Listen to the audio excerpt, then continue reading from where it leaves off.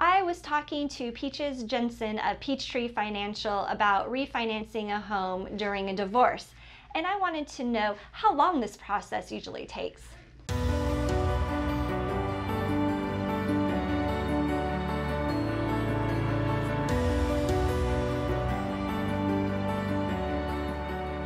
How long does the refi process take?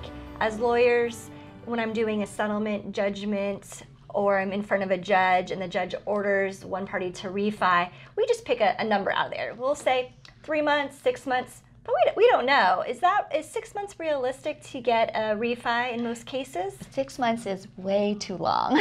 Okay. we can close a refinance typically in 30 days. Um, it depends on the market. If we're going through a little refi boom, as we are going through right now, a mini refi boom, then we would extend that to 45 days. But it shouldn't take more than that to close a refinance. The only time that it would take longer is um, if you don't have final divorce decree yet. Mm-hmm. We don't know how much alimony, how much child support. We have to calculate that all into the debt ratio or the income to qualify. Without the final numbers, we don't know what to qualify them at. Okay.